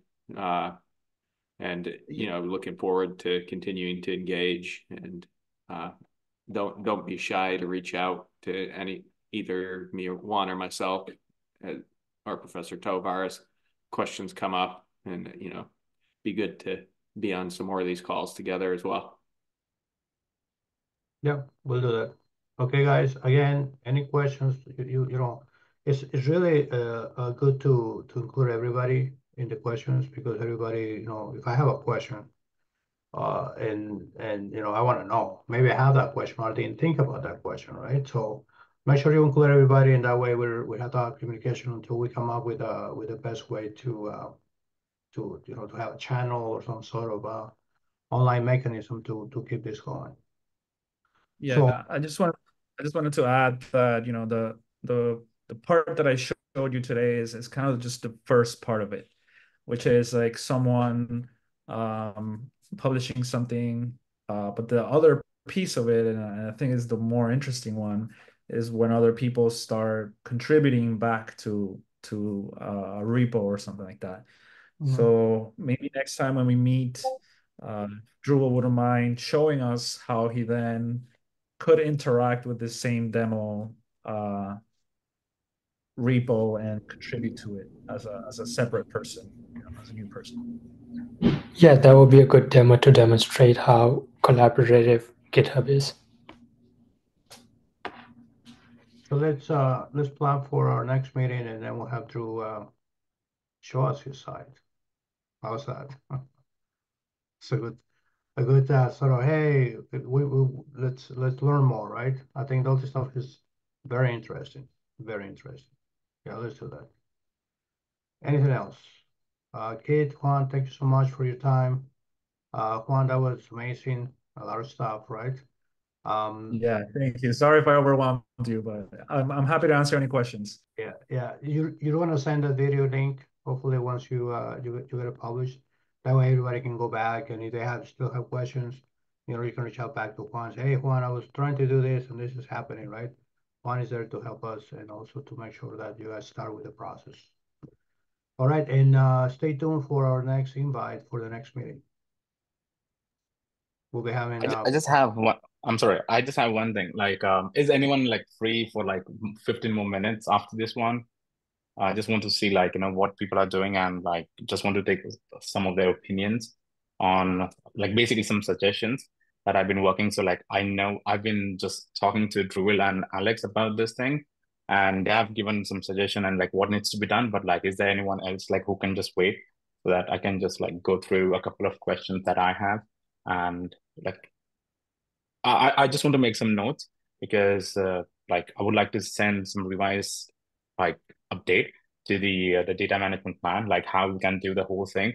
What like uh, Juan said, like you know, it would be much better if like other people contribute to the repository and like it, it grows from that point because it's just me not doing everything everything, but like you know, people collaborating. So, but like how to empower everyone to do that. So, so that was like something that I I thought now, and I just wanted to take people's opinion about something. So, like maybe I can have another call after this one, but like if anyone's available, just let me know. Okay. Yeah, yeah, I'm happy to stay if if you need me, or I don't know if it's a students only. whatever. I know it's not. I'm a student too. Yeah, uh, like uh, we will talk with Akshay after for 15 minutes. If you have a free time, you can join us. For example, in Discord, we have a meeting mm. room channel where we can connect to each other. So at that time, feel free to join. So you say a few minutes, uh, actually, um, how how many minutes are those? Uh, I have a four. I'm not sure. Yeah. No, I'm. That's what I'm saying. Like, no, no, no. It's fine. It's fine. Like, you know, I can discuss with like uh, everyone else and then get back to you. Like, you could transfer transfer the host to somebody else. Whoever is stay, whoever wants to stay, one of those. I, yeah, I think Juan has it. So if, if once uh, if one of you will stick around, he can stick around. but I, I, I gotta jump off. You guys, you know, uh, I think you, you, you're recording, right, Juan? I'll, I'll Yes. come back and I'll listen to the recording, right? That's, that's the amazing thing about this. I can go back and review it, so no big deal, guys. Uh, go ahead. Uh, I'm gonna jump off. Uh, thank you so much, everybody, for being here. Uh, stick around. I, think I would actually have to say it's pretty important. I'll talk to you guys later. Thank you. Thanks, Juan. Take care, Dr. Tor. Goodbye. Take care. Thank you, everyone. Bye. Right. So I'm You're guessing gonna this. stop here, Akshay, or are we gonna move? I mean, I'm not sure like what what we're supposed to do. Like, should we have it here or like somewhere else? Uh, You guys can have it. It, it depends on how public or private you want it to be. Uh, I mean, I'm I'm fine with anything. Like, I there's I- nothing. I- It, this is this is about the the I the school w- thing only. We need you. Juan and Keith, uh, me and Axel. Akshay was showing me a lot of interesting stuff uh, in our previous meeting. So I think we would like to share that with you and get your feedback and see where we could go. What do you say, Akshay? Yeah, I mean, definitely. Um, just give me like one minute. I'll quickly log in um to my So let me see. Uh, I'll share my screen. Uh, so just let me know if you come to my screen. Yep. Okay. So um so I was talking to Will about like um uh, just to understand like what exactly that they have been doing and what um well Dr. To was repeatedly saying that um we want to make sure you know we streamline the whole process as in like not many people work on the same documents but like you know everyone takes a responsibility ba- based on like the particular skill set but it's not like they just take everything on their plate but you know it's like it's it's a collaborative effort. So like hey i can do this. I know how to do this. So like you know they can pitch in and back and forth. So for that like uh, i did uh think of like something else. I mean i have not drafted it yet but just to see how it works and like how the whole process works i kind of mocked um like the same school uh um ui like the website. Uh you can see my screen right? Yes. Yes, we can. Okay, okay. So uh just mock the same thing, um, like using Sphinx. So it's like uh how you have a Quarto. So that's like Sphinx is the same thing basically. So I just tried to do that, uh, but like same thing, Quarto, Sphinx one and same thing. So I did one thing and this is just like very basic setup just to see what we can do and what cannot be do done. So the one thing that uh, I showed you earlier was like adding the the GitHub um, discussion section, you know? So if we have any suggestions on about a particular page, we can just have people like sign in and they can just give comments and stuff. Like, hey, I find this is much better. Can I use this thing for my particular research? And you know, just so that like we can get more traction and like more traffic on like the work that we're doing here. And the, the whole point is to make a lot of things, the data and like um, whatever resources we are using, as much accessible to all the people. That's that's the main goal. But at the same time, we don't want to like get into the nitty gritty of like you know designing things because that's not the point. We just want to like like teach and like make sure we like make. We don't want to teach how to do something. We want to teach how to learn something so that they can by themselves learn and like improve upon like the knowledge that they gain. So um so this is just like basic framework okay? Just like what Quarto does. So i add a couple of sections like how i want things to be i made some like random images and stuff.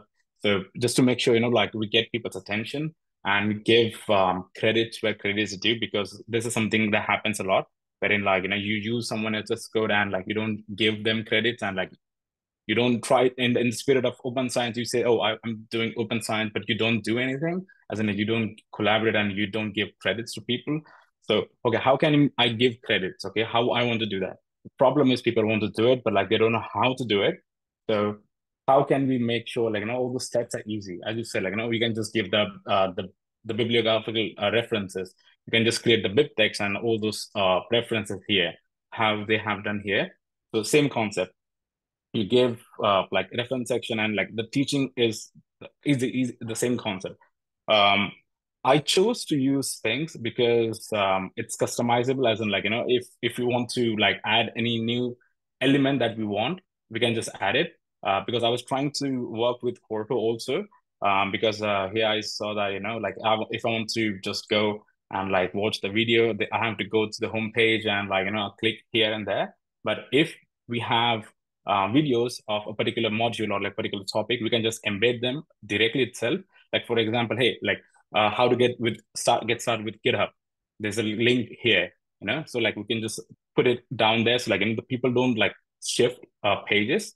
So it's just like so just available for them. And uh, the thing was, uh, since we're writing code in multiple languages, we want to make sure, uh, you know, the code is first of all like and there are a couple of things like we need to make sure like you know, there's like a code quality that is maintained. Um, not everyone is going to be an SME in a particular language, so that's that's okay. But like since we are like working together, like different people are coming from different backgrounds, so they do have their experiences. They can exchange notes. Hey, like what is this? What is that? And like someone who has working in some situations for a long time, maybe they can just draft a document and just say like this is the design guidelines that we kind of follow. I mean, it's like not, it's a contribution guide. You have like free to change things, but like if you want to, like it would be much better if you follow that thing. And uh, just give some credits like uh, and add some changes. So coming to the code that was like okay you know what if this is just an example. So if you want to get started how can you get started? You click here. There's github. You want to create account like you know you need some nasa data. I mean i have still have to add some things here. So you make things accessible to the people so that like there's not much clicking happening and like you know we keep the attention of the people on our content so that like we kind of hook them in like the stuff that we do. And uh, what Dhruvil uh, and Alex uh, in in a previous meeting, what we decided was like to have like some kind of a survey so that we can get to know like who our audience is and what they want and like what they can contribute to and accordingly give them those tasks but it would be like super super difficult to like have some manual process in here so how can we automate that process like how can we make people choose what they want to do but you know, just in a way that they feel comfortable. So we don't want to enforce things on people like, hey, you do this, you learn Python, you learn R. Like even if they don't know anything, if they don't have inclination to it, like this, it makes no sense. But like you know, it should be a voluntary effort. Some people just like to do some fancy stuff, like just they want to like show some good photos or something. They can just do the the media, like you know, the social media kind of thing. They can just do the collaboration. So like we can have those people, but it would be much better if we have an environment already in place as a community, which does allow to allow people to go out and spread the word. Okay, so but and at, at, at, at a, uh, in in a way that you know it gives like a warm and welcoming message all the time. So we have to be a little cunning in in this process, as in like we have to be very smart in terms of we have to hook people, but at the same time we just want to make sure you know like they understand that they're doing something for a greater good. So um, I'll make the whole thing like I mean, as of now, I just like made a couple of suggestions here. Uh, but uh, because uh, the reason I, I chose to go with Sphinx was uh, it's again it's like one of the industry standards like they use for documentation and everything. So like a lot of open source projects use it. Like Quarto has also been used by a lot of open source projects. So there's like no comparison. But like the only good thing is like you know we can add um like custom code just to make sure we get things done in our particular way. Like if I want something to be done in this particular way, I can do that. Uh, so the one uh, uh thing was like, you know, I was talking with um, um, Dhruvil the other day. So, so hey, like we have a code in Python and we have code in R. So we can show the code side by side. It's the same code, but like, you know, people, so like, oh, man, I don't know Python, but like I know R. So like click the other tab, you'll see the code here and you just copy and just move on. So, you know, we don't want to give reason to people to, you know, just say, oh, I don't know how to do this, or like there's nothing out there. We don't want to give them the reasons. So that was one. And setting up the pipeline, as you said, like in the whole GitHub pipeline, the, uh, the GitHub action pipeline, so the YAML and everything, we can incorporate the whole thing with um, the the the branch rules and stuff, and you know make sure like people uh, who kind of have little experience, uh, like for example, if they know programming, they can do peer reviews. But like if they if if they know some content as in like if they know like okay this is not good as a content then someone else can just go and check and like you know just do a review and like hey like this is not good go back come like you know just make some changes raise the pr again and like and merge that thing so it should be a cyclic process as in like it shouldn't be overwhelming to the reviewers then like you give like 10 files them or 10 folders oh go and review no we don't want to do that we want to do everything systematically, small, small things at a time, uh, like continuous versioning and uh, you know releases consistently. So like there should be like a prop as a, as Dr. Uh, Dr. saying, like we have to have some kind of sprint. So we can use GitHub to show all those things, and GitHub does allow that. Like uh, I'm not sure if we, if you guys uh this uh this thing. So um it on GitHub you can so I mean I know for this one. So we go here because I uh Juan gave me access to this thing. So we have something on this project and we can just set up the whole Kanban board here. And like we can show, okay, like what we are doing and what, where we are in terms of like our progress. So how we are doing things, what we are like, what are they in the pipeline? And if people have any suggestions, like they can definitely tell us and we can add them. We can improve on something. So it's, it's always going to be a community effort, not like, you know, just one person like doing everything it should be a collaborative effort as in like we should take inputs from people all the time if it's really good definitely incorporate it if it's something like you know eh, it's not that good we can just like put it somewhere like as a dead letter queue kind of thing and then maybe pick it up later on yeah i, I this is awesome. Uh i guess uh, the, the the one question i have is about like user registration and moderation. Like in order to access this system is it is it restricted to github accounts and users? Or is it open for anonymous access? Uh, this one? Yeah. Yeah this is just for github. Because that uh, because the thing is like because I, I tried this with like uh, my previous websites also for the documentation the problem is if you make it anonymous like there's a lot of spam and there's no moderation right, right yeah and the one thing here is like um, we can convert this thing uh, like uh, you get an option. So like if someone posts something or like someone starts uh, this uh, comments we can convert it into a discussion board. So it would be like a continuous discussion like what's happening here? Like uh uh like okay so like it's not here.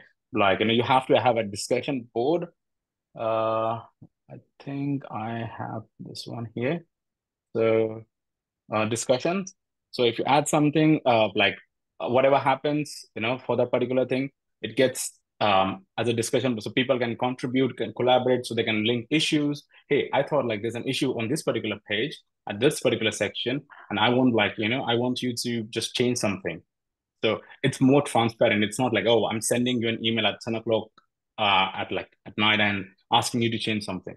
It should be like you know what we ha- having the conversations like hey there's something wrong on this page or you have not given um, the references to this particular you have not given even credits to this particular like you know image or like the source or the author the photographer you know? Um, make sure you do that. So or like if something if we are if we're miscrediting someone so you know it's like you know no one's sending us this information. So the thing is like we should make platform open to people in a way that you know it doesn't like overwhelm them but at the same time it doesn't stop them from contributing so yeah, yeah, no, it makes makes a lot of sense. Uh, yeah, no, I think the approach. This is like you know, it's a redesign, really. Uh, so the the approach is to do that in a beta type fashion, and then you know we'll start using it ourselves, and then hopefully we get to a point where we can cut it over into a production environment. Yeah. So, uh, so the thing was like, I, I was just like trying. I mean, I went through basically I was just like going through this website for like the last two weeks and this thing like, okay, what is there? And like how, uh, I mean, I'm not trying to compare Quarto with like Sphinx or anything because like everyone has their own merits. But, um, you know, the only problem that I thought like, and there's not much of customization. And if I want to give like proper contribution, so like, for example, so I know, okay, Dhruvil and America like gave, um, they authored the whole document. And like, if you see the source code, there's like the BibTeX and like the author section, it's it's it's all there. Okay, that's pretty good. But what if I want to see what Dhruvil has done so far? Okay, like because like I would like to know. Oh my God, like Dhruvil writes really good code. America writes a really nice code. I would write. I would like to see what the guys do. So there's no option here unless and until I just search them on LinkedIn or like if I know them. But okay, what I can do here is like I did some like this is some super super basic. So if I want to see who these people are, I mean in my case like I'm sending them an email and hey I mean I'd like this work. So this is just one thing, but maybe uh, you know in future we can just like show a pop up and like the the the whole PID for them like yeah. the because uh, I know like Juan was saying like we can take the headshots and everything for the people and just show like a profile of that particular person. Then like, hey, he has done this, he has contributed this much thing to this particular tops uh, like school project. He has done this many things. He might have got some upwards, downwards, you know. Uh, I have not done the upward downwards yet. I was just looking into it, but like I, I didn't know how to do that. But like you know, we can have that kind of thing, and just kind of gamify the whole situation. So like we can get more people over here and kind of a scoreboard, like, you know, just like give some yeah. like, you know, just credits, like more info and like more exposure. Like there are people who do like social medias and stuff like, hey, um, so uh, a contributor of the month, maybe, and you put it on LinkedIn. So sometimes, you know, people kind of get hyped up for that thing. And hey, I want something like I want like 25 merges on my name. Like definitely go ahead. If they do it, like we'll post it. So, you know, and in that case, you don't have to be technological sound. You just have to be good at marketing. So, you know, anyone can do that. So we don't want to just like stop people from, hey, like if you don't know coding, you can't do this. No, we don't want to do that. We want to get promoted like as much as possible and leverage all the skills of people, what they have, and use the best of their abilities, like, you know, the maximum intent. Yeah, absolutely. I, I mean, the one question in my mind is that, you know, at, so, at some point, you you you graduate you know we're thinking about like long-term maintenance mm-hmm. something like this yeah uh, so go ahead. Yeah so i mean i did i did think of that one too because see the thing is i mean i wrote this thing now. It's good okay? We are working for this one for like six months. But what happens is like hey like after six months we are like we got something new because since now we're in kind of a beta prototype phase we just have very limited data and something to work with. But once we go full on production, things would change. We want to show something as as uh, you like share the image. Like you know, we just we have a code or we can have an application. So now like the priority shift. So like you know what we want to do. Should we promote this on website or should do it on like the app? Now the thing is like if I now if I write everything and if I stop working, like you know, for six months, we don't have any development for this particular thing because it's kind of stable already, or it just serves the purpose. Even after six months, even I won't understand why I wrote something in the first place.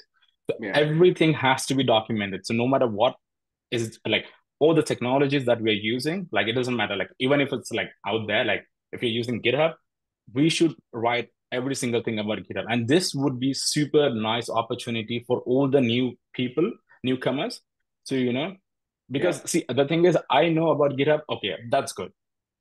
What about like the stuff that GitHub has added in the last few, four years or like in the last couple of months, maybe?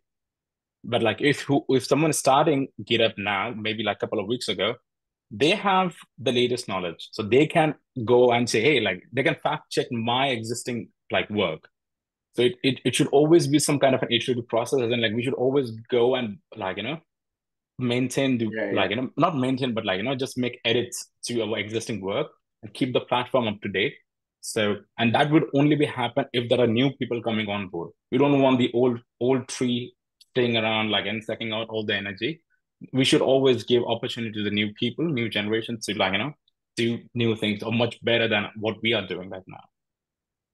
Yeah, no, I, I, I think philosophically we're we're very much on the same page.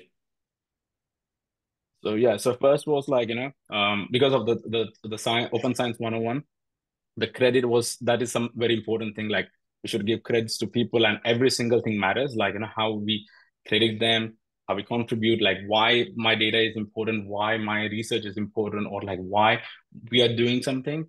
And if I'm doing something, I would like to have that thing like shown off to people, but I don't know how to do it because I didn't do it before. So maybe, or like maybe I'm shy. But what if I just make it like um, a passive process, as in like you don't do anything, but the system automatically takes care of it, or like there is a system uh, which, or like there are people as a community who take care of the whole um, thing for you, you know?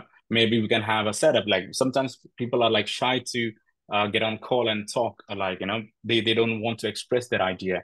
But what if we we don't make them talk, but like, hey, you can like give like suggestions, you know, or just go, go through the uh the whole thing, or just like a fact check something. You see if the links Yeah, are working yeah, or not. Yeah, like, Every yeah. contribution matters. Yes, absolutely. Again, again, I think, you know, we're very aligned in how we're we're we're seeing it.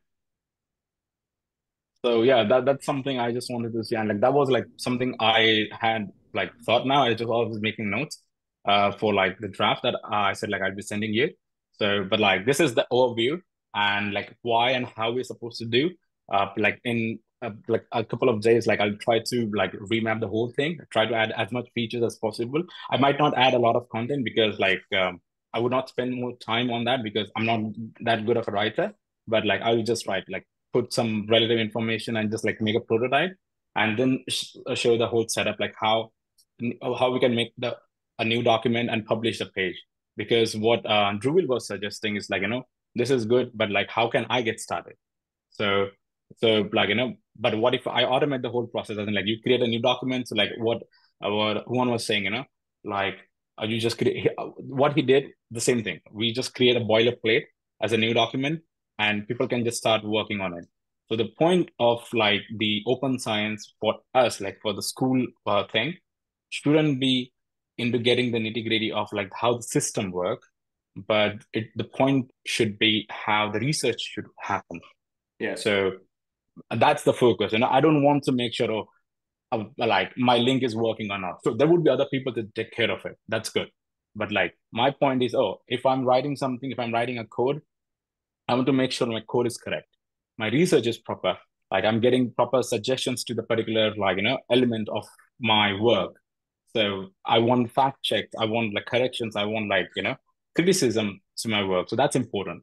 And I don't want people to get like overwhelmed with the whole process of like how I can do this. So and it, it's difficult. It, it kind of like it's it's difficult to get started, but like once you get into it, like it becomes second nature. Yeah, yeah. No, absolutely. I agree. Uh, yeah, actually, one thing that you should also keep in mind is that, you know, a lot of the lessons that we're working with are using very large data sets. Yeah. Uh, and so um, I never used this Sphinx system, um, but that was one of the um, kind of big caveats here is that you know we're working with very large data sets that we can't host on on GitHub uh, because they're you know I don't know gigabytes of data, and so um, I'm not sure if Sphinx can. Oh, and then on top of that, these Quarto documents allow us to um, you know render render those the the code and and render the like if we want to print uh, a map that is using Yeah. this very large data set uh, Mm. can it can it get displayed you know uh, Yeah, the way that so uh yeah, so for the code, um so that is possible um because uh it's something like it, it's kind of like what uh it's code and Sphinx they're kind of like similar in terms of like the understanding is just like the way the syntax work that is different. But like uh for for example um uh, like for example here, uh, yeah, I mean, I had written something here. So like, yeah, sure, you can show the code here and like the same concept, you can copy the code and like, it gets copied and everything. With the same concept, it works just fine. I'm, well, I'm not sure, I'll be honest, like I'm not sure about like how to render those maps. So I was talking with like Kit about like how to use those GeoPandas thing to render those maps here on like on a UI. And it's the same concept. Like we're not going to have the data sets on the system, like on GitHub or anything. We'll be pulling it from the remote sources and uh, we're just loading the we're doing processing and we're just like showing the data here. So like it's not going to be that like heavy. It's it's always going to be dynamic content, but it's not going to be heavy. But I'm not sure how to render those um this thing, um like the maps. But I know we can have Jupyter notebooks embedded in here. So if it's possible via Jupyter, like you know, Jupyter Binder Colab, uh, this can be shown easily. So yeah, that, that's I- oh okay because maybe it was something that like it had to do so like I guess my question is like how you know we have all these Quarto documents already that are already in this format you know yeah is is the transfer into this this different platform like very difficult uh, or can it just can we bring in those Quarto documents um and yeah and this this this kind of question of of kind of render the results of the code that you're showing is also yeah. something that you know we found very useful in these lessons mm-hmm. uh, so um yeah i'll make yeah. a note of this one but I'll, I'll let you know like you know i'll just do some yeah. testing and then I'll, I'll, definitely get back to sure, you yeah but because i don't no have any answer top of my head so yeah so if you if you did like a, uh, or something. If you log into 2i2c, I think there are some there's a few files that we have and and I did see, yeah. It's a massive, yeah. Yeah, I, I, apologize. This is this is great work. Uh, I I need to drop off the call, but uh, you know, like I mentioned, I'm I'm I'm happy to jump on a call another time to, you know, continue to provide feedback on this. Uh, and you know, I, I think, like I say, since we're aligned so well philosophically about what we're trying to do, uh, this, like you said, Ashke, that the solution is going to change over time. Like we're in this period now where even in, over the course of a few months, technology is just advancing so rapidly. Uh, but I think if we're in, aligned in terms of principles and philosophies, then uh, you know you can you can make a sustainable product that way. Yeah. Uh, okay, while you're here, I might ask just one question. Sure. Uh, actually, uh, this is a left screen. Is it yours local or it's a? Yeah, this is just local. Yeah, this is just okay. As of now, yeah, it's still. I want to just scroll a little bit down. There's uh like it's wet. No, just a little bit. Go up, up, up. It's going to be an, an image. Up, up, up. Scroll up. Uh, one more. Next uh, image and it's yeah here uh, uh, it's important uh, important questions uh, to the license i was used uh, for example for our discord uh, like image logo of tops nasa i used nasa schools but do we allow to use a nasa original logo as here on the left because i believe it's under the license but like yeah it's important question. yeah i i mean it, like, it's some it's something that we would want permission for yeah, uh, this means no. Which you know we're we're in a position to to easily get that permission, but it, it's true the NASA meatball uh, is yeah. something we'd want to make sure with that we have permission to use. Yeah. Right. Yeah, yeah, I mean, I, I pulled a fast one on this one because I already added like the credits because I thought like someone would like outsmart me. So I gave the credits already. So here you can go and you can see like it's credited by NASA and everything. So uh, can, but the logo it's uh, under the um, how to uh, the tops one is also the marketing. Like, yeah, it's yeah. on the marketing. Here you have the tops. It's what we are doing, but I mean the NASA original logo, if it's possible. Yeah, it, I mean it, it, the fact of the matter is that NASA has contributed to open. Science. You know, they're committed to open science. So in this context, I don't th think we're facing you know very many risks. But in, in general, Alex, you're totally right to be thinking about that with data sets or any, any logos. The diligence is to reach out and ask for permission.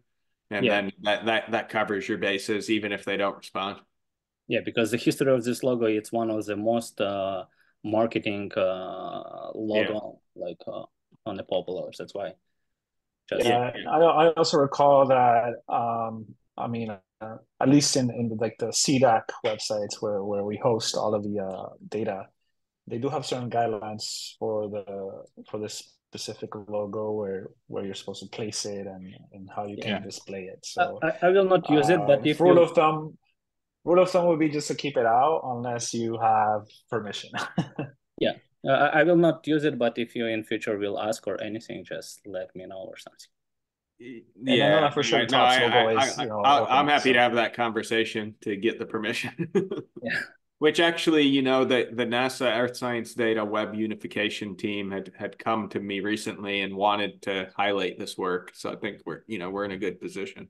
Yeah, please. Yeah, I I, believe it will be so uh, powerful for us. And like for overall, it's the same. It's like uh, how the marketing are growing. We ask the permission if they allowed. We uh, looking for new audience. It means we uh, trying to improve. Like, yeah, yeah, absolutely. Well, anyway, I'm sorry I need to drop, but uh, th thank you all again. Uh, ha have a great weekend. I look forward to talking to you soon. Thank you, everyone. Bye bye. Take care.